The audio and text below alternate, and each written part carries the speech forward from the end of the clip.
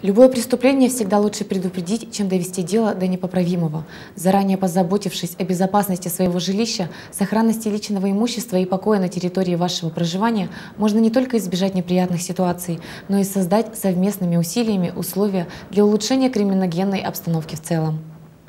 Участковый уполномоченный полиции – это представитель власти и закона, осведомленный о происходящем в районе. Своевременное обращение к участковому уполномоченному полиции, информирование его о подозрительных событиях и криминогенных факторах поможет обеспечению нашей общей безопасности.